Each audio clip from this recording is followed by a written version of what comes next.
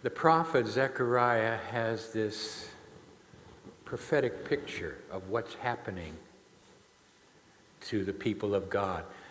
Joshua, the high priest, obviously a different Joshua than the one that served with Moses, is standing before the Lord, but Satan is standing there accusing him. And as the prophet looks on this scene of accusation, the Lord intervenes and says, The Lord rebuke you, Satan, the Lord rebuke you. And it says, Now Joshua was standing there with filthy garments. Now, I'm not a Hebrew scholar, but I've been told that in the Hebrew, this literally should be translated garments that are spotted with excrement, filth. And the Lord turns to his servant, who, the priest, who represents all the people, and says, Take that filthy garment off of him. What is my servant doing, allowing himself to be clothed with that kind of filth? And God says to those around him, Take the garment off of him. Put a clean turban on his head. Then the prophet interjects himself into this scene the turban, I believe, signifying the renewing of the mind.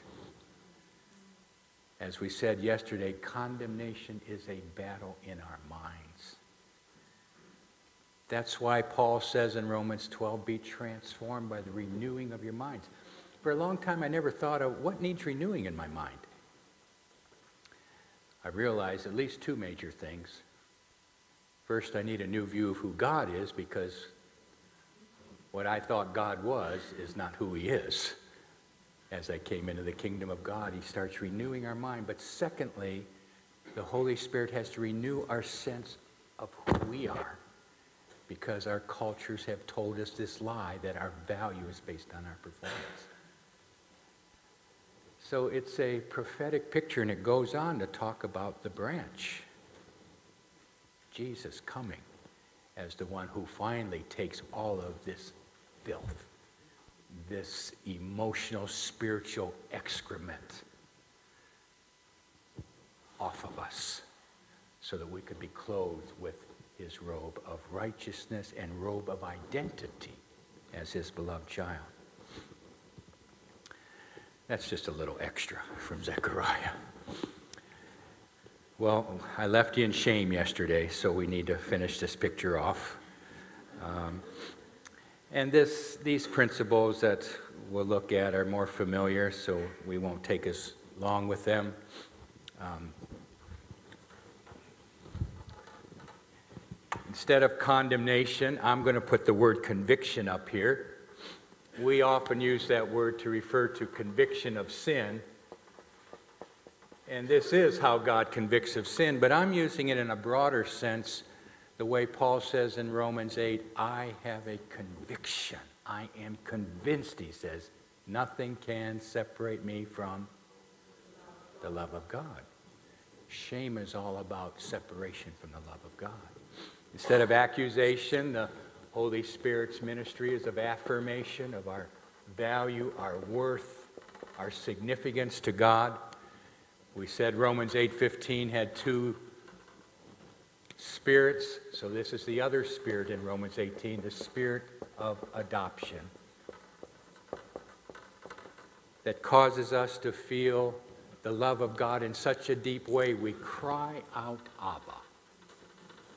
Twice, Paul uses this phrase. Romans 8:15, Galatians 4:6, he says we cry out, Abba.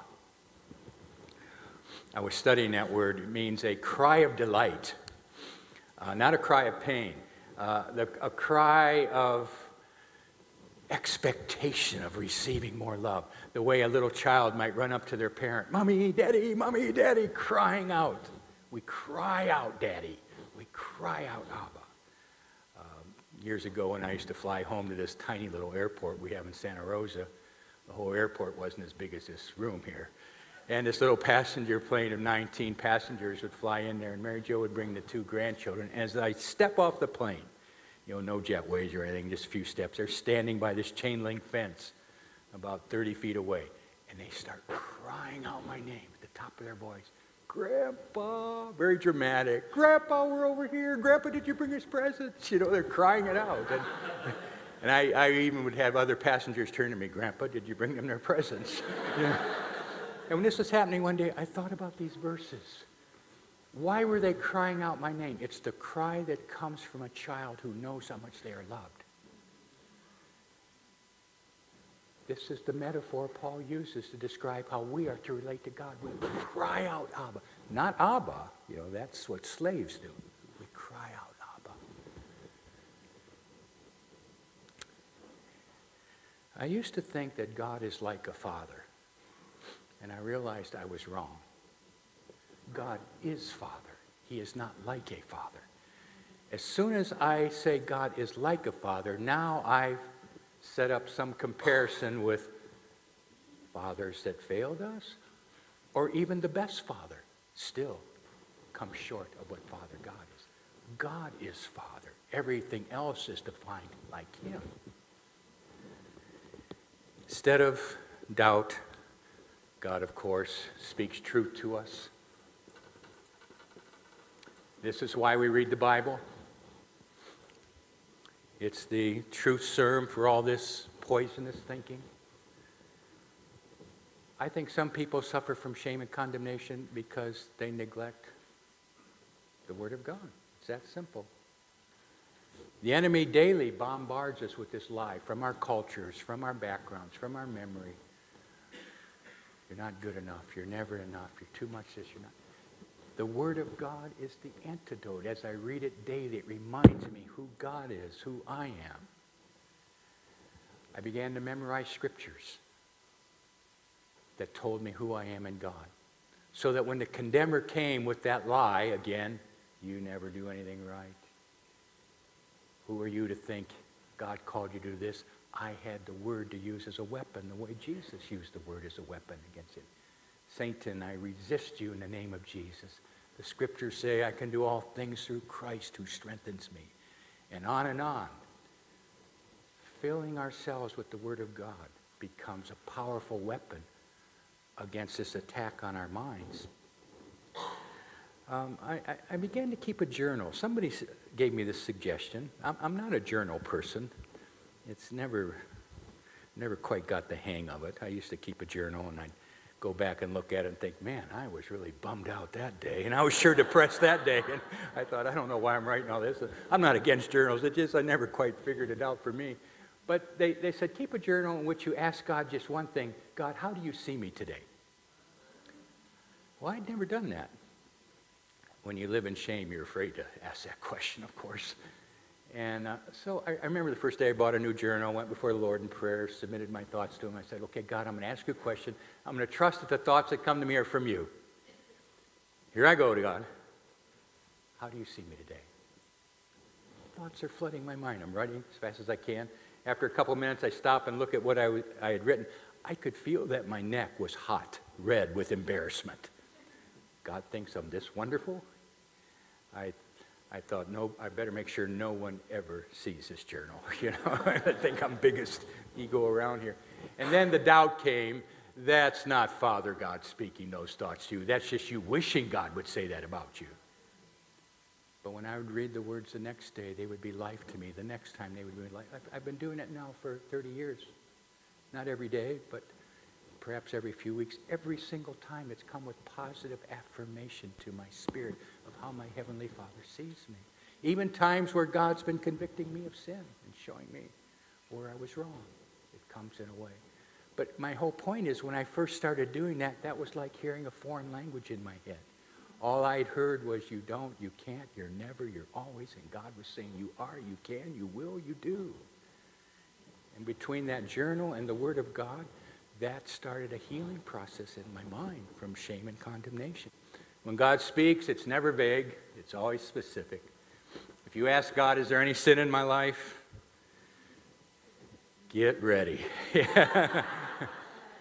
he will be so specific. He will not say, Yeah, you've got so much, I don't even know where to start with you. No, he will bring back. Do you remember that conversation you had at lunch today? You gossip. Oh, God, I see. I'm sorry, God. I'll, I'll make that right. See, God's very specific.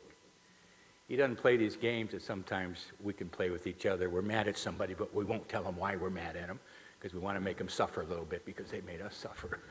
No, God's very specific, but very positive. Even if He's convicting us of sin, it's very positive. We, it comes in a way that makes us feel loved by God.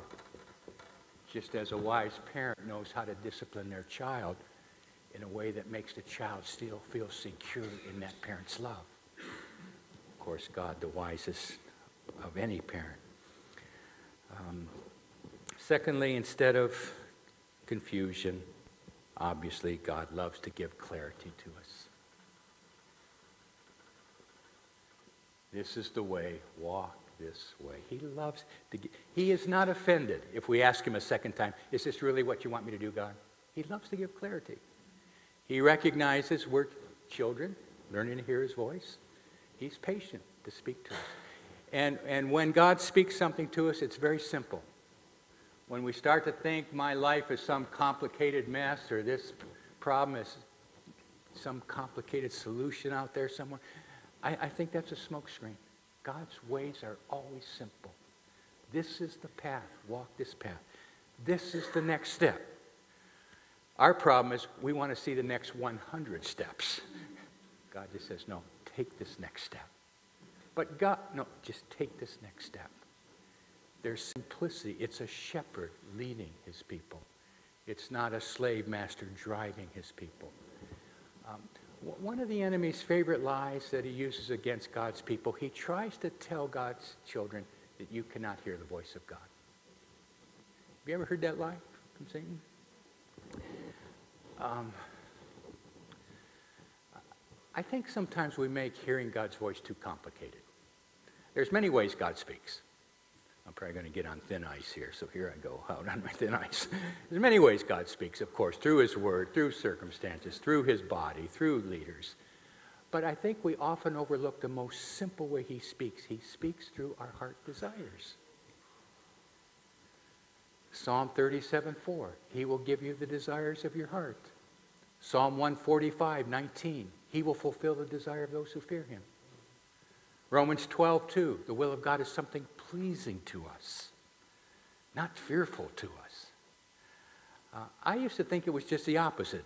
I used to think if it's my desire, then it could not possibly be the will of God. And I even had a scripture verse My ways aren't your ways, my thoughts aren't your thoughts. And I was doing that little number one day, and God says, No, you're quoting that verse out of who gave us this capacity to have dreams and desires? Did not the Creator put that in us? So when we get become Christians, does He rip it all out of us? And we just become robots? You just tell me where to go, God, and what to do. I have no feelings of my own. No, He works through our passions, our desires. I believe many times God puts dreams and desires in our hearts when we're young children like these children we had here. I believe God does that. But we grow up, and I don't know what happens. You know, theology beats it out of us, or, or somebody tells us it's selfish to have your own desires, and we just, we, we think that it's all got to come from something totally outside of anything I've ever thought of. Sometimes God does that, of course. But many times he works through our heart desires. Uh, I I think the will of God ought to be too good to be true. It ought to make us go, yes, God. Wow, God. God, if I could do anything, yes, that's what I want. Um, I would challenge you, offer to God the deepest desire in your heart right now. God, if I could do anything or have anything, here's what I want the most. And then I pray, God, if this isn't your desire, if this is selfish of me, please take this desire away. I don't want something that's wrong. But God, if you put this desire in me, then God, confirm it. Let it grow. God will answer that prayer. God's not going to let you have a desire that's wrong, and the whole time you're asking Him to take it away, and then you're going to be disciplined for disobedience. What kind of God would do that? What kind of father would do that? If the son came to the father or the daughter and said, Dad, am I doing anything wrong that's displeasing you? And, or, Dad, here's what I want to do, and the parent knows it's wrong, but no, God will show us. If it's wrong, we'll say, Thank you, Lord. If it's right, it will grow, it will intensify. Uh, you can try to kill it. You can try to die to it. You can try to shove it aside, and it won't get killed. It'll just keep popping back up inside of you. But it will always seem scary because the dreams God puts in us are far beyond our ability to accomplish in ourselves. And we'll think this doesn't make sense. I'm not qualified. I don't know the right people. I don't have the money, but this just doesn't go away. At some point, we have to trust our Father's not playing games with us. That He put that desire so we can take that first step and watch what happens. To me, that's simple. It's not a complicated process. Thirdly, instead of fear, God gives us confidence. When God heals our shame, our condemnation, wow, watch out. You're, you're gonna, we're, going to start shocking ourselves with the confidence and the boldness we feel. And, and it's going to happen out in the middle of something we're doing, and all of a sudden we're just going to kind of shake ourselves to some reality. What in the world am I doing out here? This is my biggest fear. I'd ever have to do something like this or take a step like this. Where is this confidence coming from? Because God has removed our fear of failure. God has removed this lie that I'm only loved if I'm perfect, so I can take a risk that I could fail. This is one of the practical applications for all of this for us here. You know, it's hard to be risk takers for God when we live in shame and condemnation. Because the shame lie says my, my lovability depends on how successful my performance is. But once that's out of our minds, wow, God, we'll find limits removed on what we can do for God that we never imagined was possible when we lived in shame and condemnation. Confidence that my God loves me, confidence to open up to others, as we, we listed some of the areas of fear there. Uh, that even if they see my failures, my shortcomings, that's okay. I can handle, like uh, Hugo said, Brother Hugo, if you don't like me, that's okay. I still like you. You know, we can, I can handle confidence to risk failure, confidence of God's love if we have failed. Um, one of the scriptures in, in Hebrew says, be bold, have confidence to come to the Lord in your time of need, the throne of grace, right? One of our biggest times of need is when we have sinned or failed. When do we least feel bold to come to God? Yeah. Why? We, we still don't understand His love. He says, especially in that time of need, when you feel, be bold, have confidence to come to the throne of grace. Understand that my love does not reject you when your performance level does not measure up to your own standards. You know, we, we put that graph up there yesterday of how we, we grow up thinking we have to measure up to the standards that the authority figure sets for us in order for them to love us. By the time we're adults, or even before we get to that age, we don't need anybody else to shame us. We shame ourselves. We just have our own internal standards of, of what we are requiring of ourselves in order to feel like we're a person of value. Voice of God in this stage, He's a shepherd leading us. Gentle with us. This way, my son, this way, my daughter. No, no, no, that leads to destruction. This way, there's a gentleness in God leading us. He's not a harsh father, slave driver, beating on his children. Um, the Holy Spirit is pictured as uh, what kind of a bird? A dove? Dove, uh, very gentle bird, kind of fluttering over God's people, coo, coo, cooing over God's people. Holy Spirit isn't a hawk dive bombing us. You know, it's like there's, there's reasons that these pictures are, God picks these symbols to, to accurately describe his character.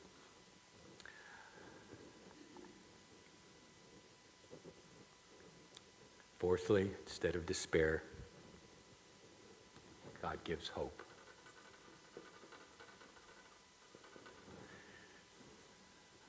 Few things more desperately needed in our day and age today than hope.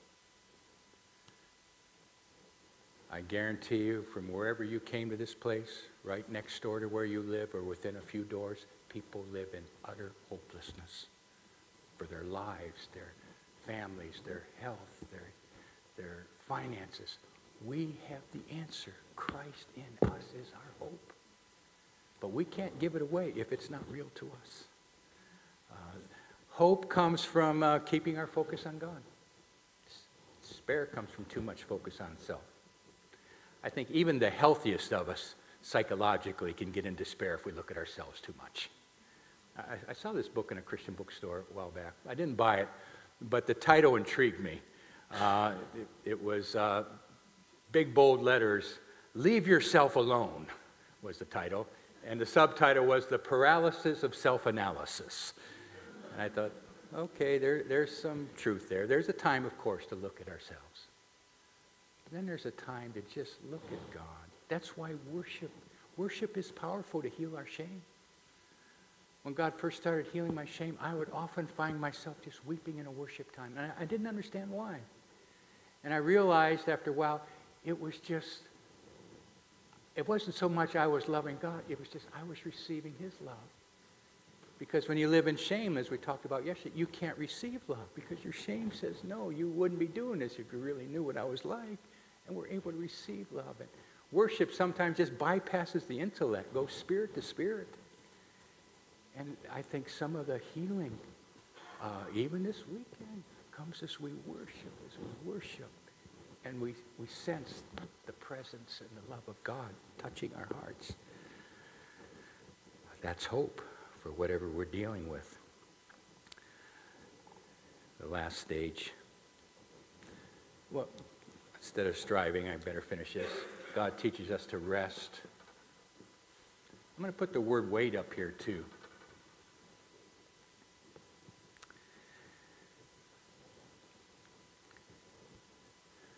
It's a beautiful scene to see a man or woman who are at rest in who they are in God. When you find a person like that, don't you just want to kind of sit at their well for about three days and just drink deeply of that rest? No posturing, no uh, fig leaves, no mass trying to prove how spiritual or successful. Just at rest in their own identity. The way the beloved Apostle John was at rest. Calls himself the disciple Jesus loves. That's his identity. That used to bother me. I used to think, John, why do you think Jesus loved you more than the other disciples? And I realized one day he didn't say the disciple Jesus loves the most, he just says the disciple Jesus loves. That was his identity. I'm the son, I'm the daughter my heavenly Father loves. That's rest. And I put the word wait up here too because waiting is part of God's training of his servants, takes us into the school of waiting. You will never be able to wait if you doubt God's love for you. You will never be able to wait if you doubt God's love for you. Waiting is staking your whole life on your conviction God loves me, He knows what's best for me. When we're waiting, everything's out of control. And it brings to the surface all of our compulsions to have to be in control of everything because nothing works when we're waiting. We try, we try, we try. Nothing ends the waiting season. And God just says, Will you relax here? Will you just rest? Um, I don't know if you noticed that I put up words here that describe feelings uh, so that we can recognize what, when the voice of condemnation is raising up its head against us. Uh, when I was raised in church, I was told feelings have nothing to do with the Christian life. It's kind of interesting because I was raised in a Pentecostal church, so go figure, you know. It's like, but, and then I, then I thought about one day, well, if feelings have nothing to do with the Christian life, then why did God give us feelings? We don't govern our life by our feelings, we govern our life by our choices. But feelings are significant. Feelings are a window into our soul. Feelings are a window into a belief system.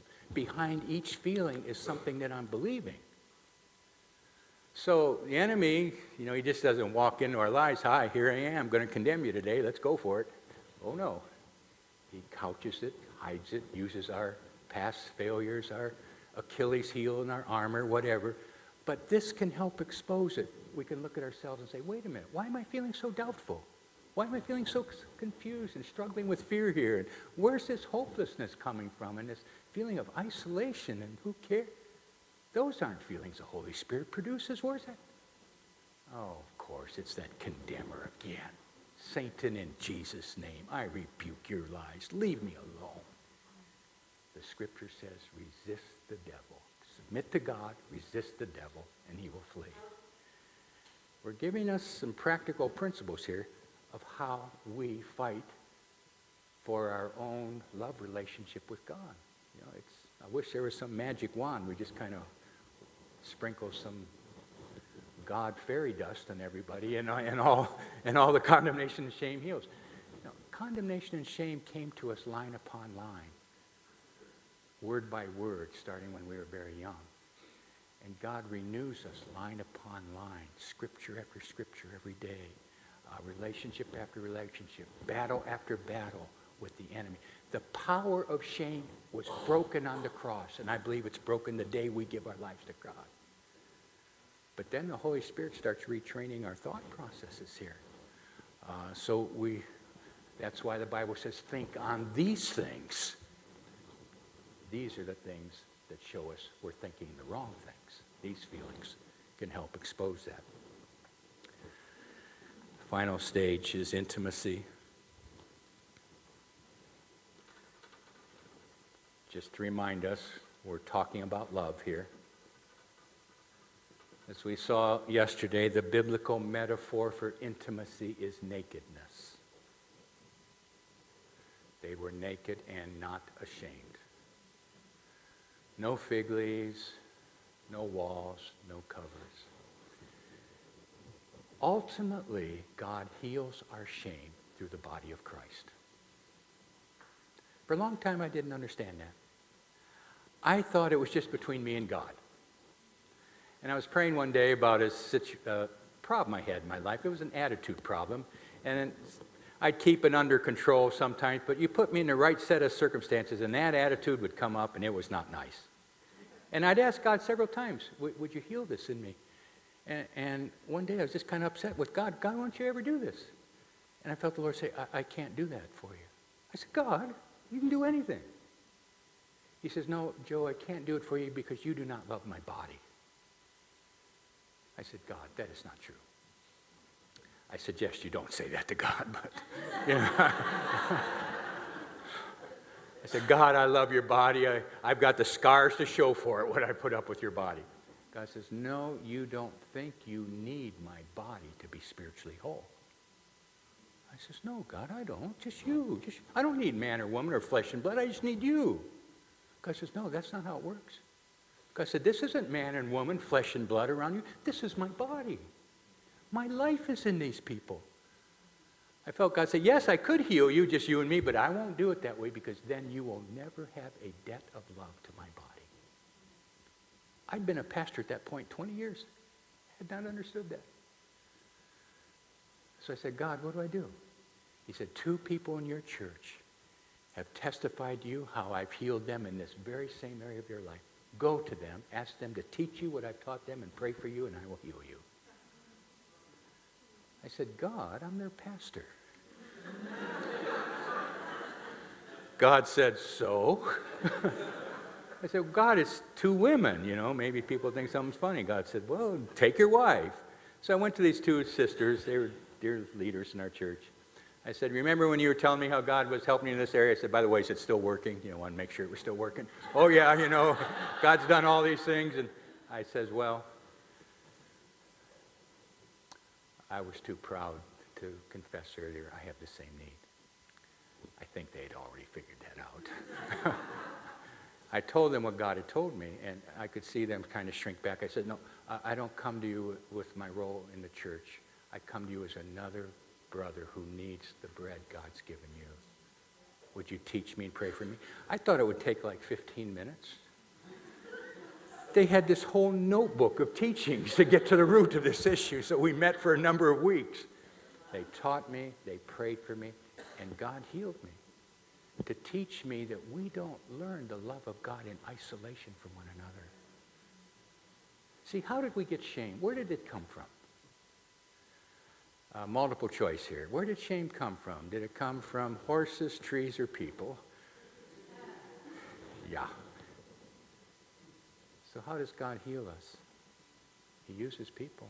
We got shame from people. We don't blame them. We're not bitter against them. Shame from people who could not give us all the love we needed. No one can give you all the love you need. So, how does God heal us? He uses people who can give us the love we need, His love. The body of Christ is powerful to heal our shame. We've heard a lot of talk this weekend about community and intimacy. Well, this is what it means. It doesn't just mean singing together and eating together, and that's all nice, and ministering together, that's all nice, but it means letting people see the naked person I am, spiritually and psychologically and emotionally letting them see me without all the fig leaves. Because then, when we're loved and someone knows all our faults, all our brokenness, and they still love us, that's healing for our soul. That is the final blow to the chains of shame that have gripped us because shame is powered by the fear that if people find out I'm this way, they will reject me. once I know they know and they still love me, isn't that the way the love of God is?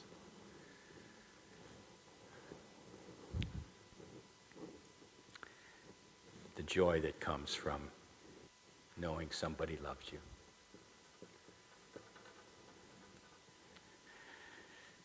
No greater joy in life than knowing someone delights in you. No greater joy in life. I've been part of many denominations over the years, uh, the whole spectrum. Uh, so I'm very confused theologically. Uh,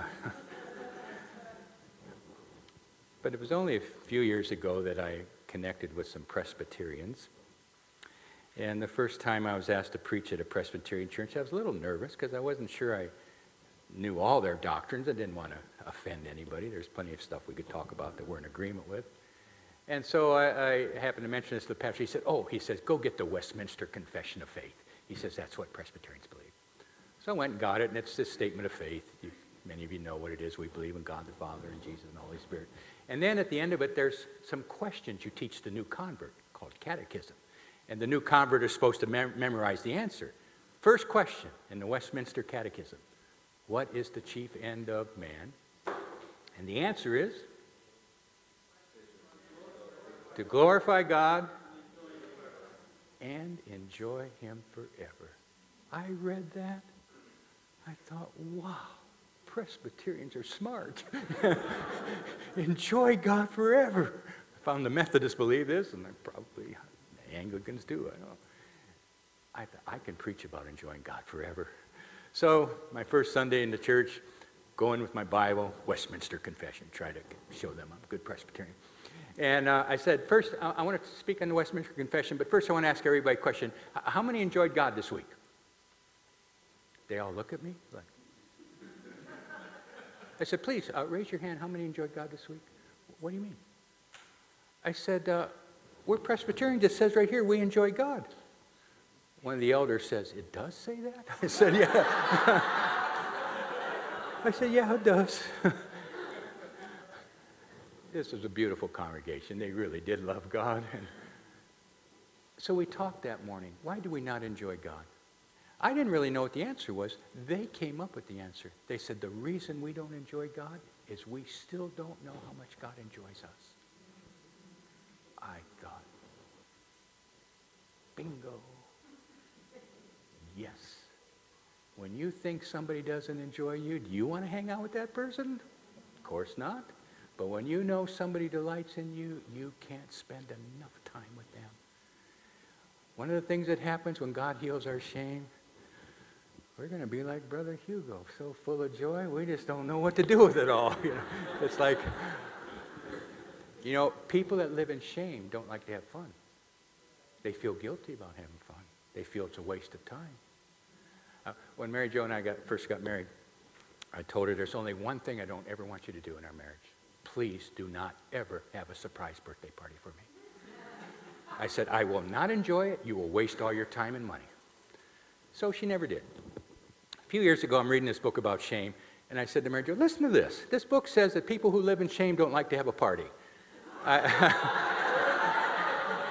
I, I said, Do you think this applies to me? She goes, Duh. I said, Oh, is that why I never wanted one? Wow. So I guess she had figured God had done a good deal of healing my shame. And so that next year I had my first surprise birthday party. She invited 50 Christian friends and 50 of our non Christian pub friends that we've been sitting in the pub with for 10 years, building relationships with. And it was so much fun. After three hours, the Christian friends left. The pub friends stayed another seven hours. You know, celebrating Pop's birthday. You know, and I at the end of it, I thought, wow, God, thank you for healing my shame. I could, I could let people celebrate with me without protesting, oh, you shouldn't. Or, no, that's not true. Or, or feeling embarrassed, you shouldn't have gone to this trouble. We celebrate one another. There's joy. When God heals our shame, it, it, everything changes. Well, my time's gone.